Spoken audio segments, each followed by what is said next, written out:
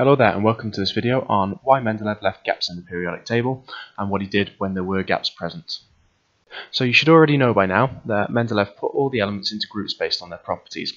But sometimes this wasn't the case and if he had an element that didn't match with that group he would move it along one to the group where it did and he would leave gaps presuming that it was an undiscovered element. Now the fascinating thing is he could actually use the elements above and below to predict the properties of the undiscovered elements.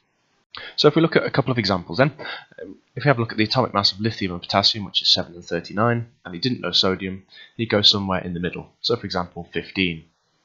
He had the same idea for density. So for example, lithium is 0.53 grams per centimeter cubed, and potassium is 0.89 grams per centimeter cubed. So we'd go in the middle, around 0.65. He'd do the same with the melting point, the boiling point, and the way it reacts. The fantastic thing is, when they actually found out the elements that he predicted, in most cases, the properties he predicted were right. They weren't spot on, but most of them were correct, with some exceptions.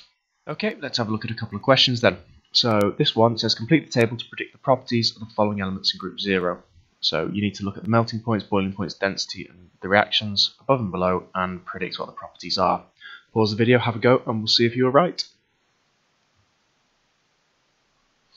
Okay, let's see. Now, bear in mind, I'm going to give you the exact values here, but anything in between will do. So, if we're looking at neon, anything in between minus 248 and minus 157 will be acceptable. The exact one is minus 189. Same with the boiling point, between 185 and 268, you're looking around 240, so it's minus 246.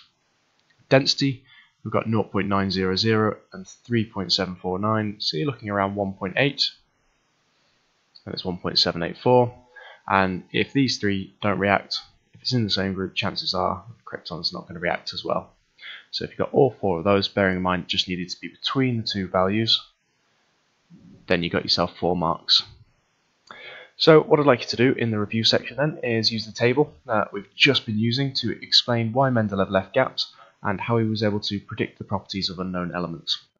And that ends this video.